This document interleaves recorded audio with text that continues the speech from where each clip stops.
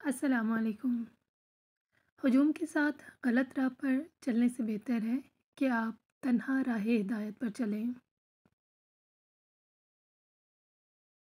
झूठ इसलिए भी बिक जाता है क्योंकि सच के ख़रीदने की औकात हर किसी की नहीं होती।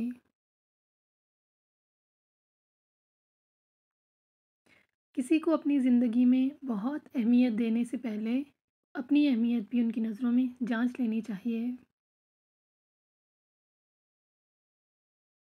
जितनी ज़हानत किसी की बात का जवाब देने के लिए ज़रूरी है उससे कहीं ज़्यादा ज़हानत उसकी बात को समझने के लिए भी ज़रूरी है।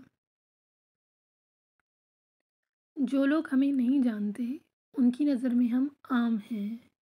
जो हमसे हसद रखते हैं, उनकी नज़र में हम मगरूर हैं। और जो हमसे मोहब्बत करते हैं, उनकी नज़र में हम ख़ास हैं।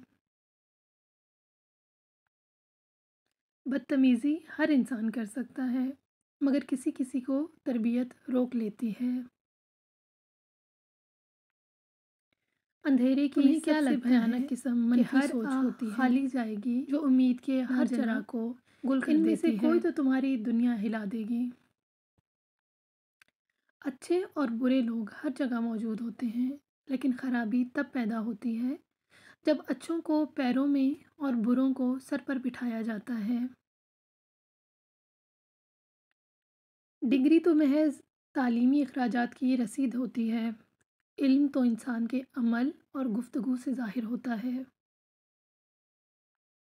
सोशल मीडिया पर रिश्ते जिस धागे से बुने जाते हैं, वो मकड़ी के जाले वाला धागा होता है।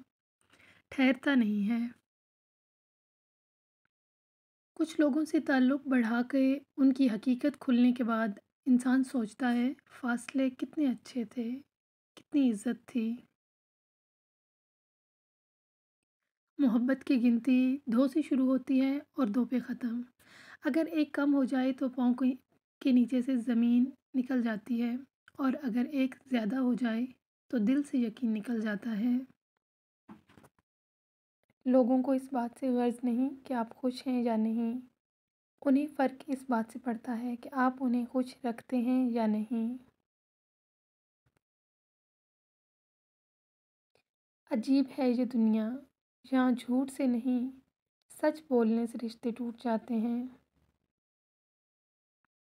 बाज़ लोग ज़िंदगी में बहुत देर से मिलते हैं।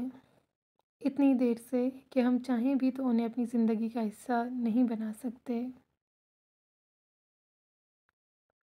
उरूज मिलने पर इंसान खुदा न बन जाए, इसीलिए खुदा ने जवाल रखा है। रिश्तों को वक्त दो। ताजमहल दुनिया ने देखा है, मुमताज़ ने नहीं।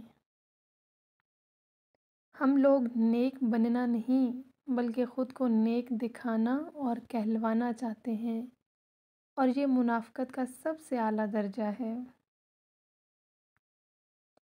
दूसरों को समझाना मुश्किल हो जाए तो ख़ुद को समझा लेना बेहतर है। लोग अपनी इज़्ज़त और अना दिखाने के चक्कर में अच्छे से अच्छे रिश्ते खो बैठते हैं। कोई सफ़र भी ला हासिल नहीं होता। मंजिल ना भी मिले तो रास्ते बहुत कुछ सिखा देते हैं। किसी की इज़्ज़त को रोंद कर आपको शायद वक्ती तस्कीन ज़रूर मिल जाएगी, मगर रूह को सुकून नहीं मिलेगा। हम जो करते हैं वो कभी हमें गलत नहीं लगता। हमें सिर्फ़ वो गलत लगता है जो दूसरे करते हैं। शिकवे हर रिश्ते में होते हैं। हम खुद मुकम्मल नहीं होते, लेकिन रिश्ता मुकम्मल चाहते हैं। हम जो करते हैं, वो कभी गलत नहीं लगता। हमें सिर्फ़ वो गलत लगता है जो दूसरे करते हैं। इंसान जब ज़िंदगी के इम्तहानों से गुज़र कर पत्थर हो जाता है तो कोई दिल दुखा भी दे तो बुरा नहीं लगता। सब्र वाले सुकून में रहते हैं, क्योंकि उन्हें मालूम होता है अल्लाह बेहतर करेगा।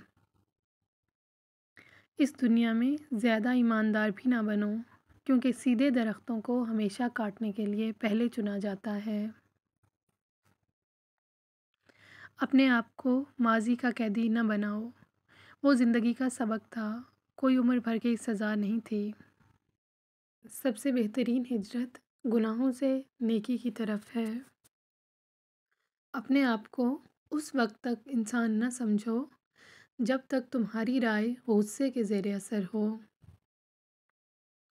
ज़बान सिर्फ़ तीन इंच लंबी है, फिर भी ये छः फुट ऊँचे आदमी को मार सकती है।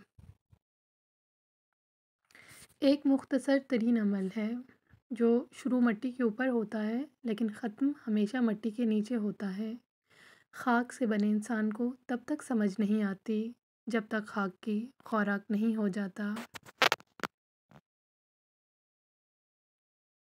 कोई बुरा आदमी सज़ा पाए बग़ैर नहीं रहता और अच्छाई, जज़ा पाए बग़ैर नहीं होती। हक़ पर यकीन रखो और बाकी जो होता है, होने दो। तुम जितना ज़्यादा खामोश रहोगे, उतना ज़्यादा सुनने के काबिल होगे। दो उसूल कभी ना भूलें। एक, अपनी ज़ात की कदर कभी किसी भी हाल में कम ना होने दें। और दूसरों की इज़्ज़त का ख्याल हर सूरत रखें।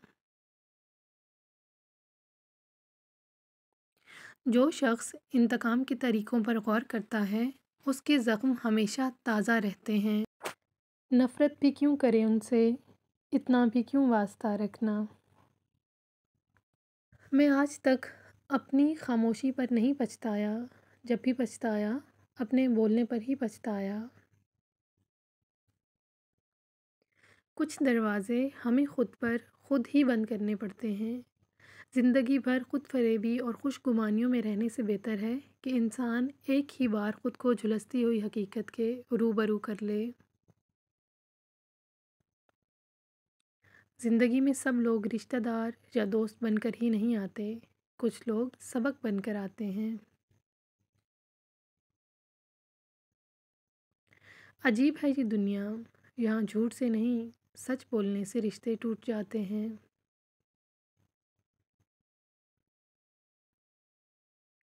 अजीब तमाशा है, किसी को एहसास दिलाने के लिए अपने एहसास मारने पड़ते हैं। कामिल की तलाश में हैं, अमल से खाली लोग। दो चीज़ें अपने अंदर पैदा कर लें, चुप रहना और माफ़ करना, क्योंकि चुप रहने से बड़ा कोई जवाब नहीं और माफ़ कर देने से बड़ा कोई इंतकाम नहीं। Thanks for watching please subscribe my channel like and share this video thank you